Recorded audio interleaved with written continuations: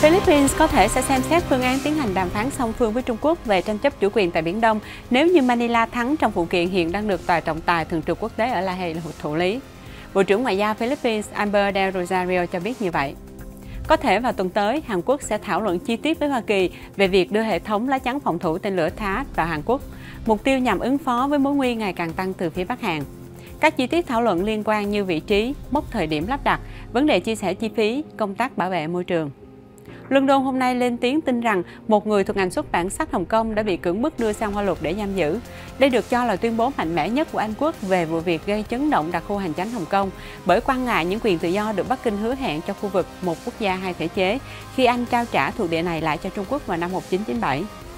Hôm nay, hai vị giáo chủ Giáo hội Công giáo La Mã và Giáo hội Chính thống Nga có cuộc gặp thượng đỉnh tại phi trường Jose Marti ở Cuba.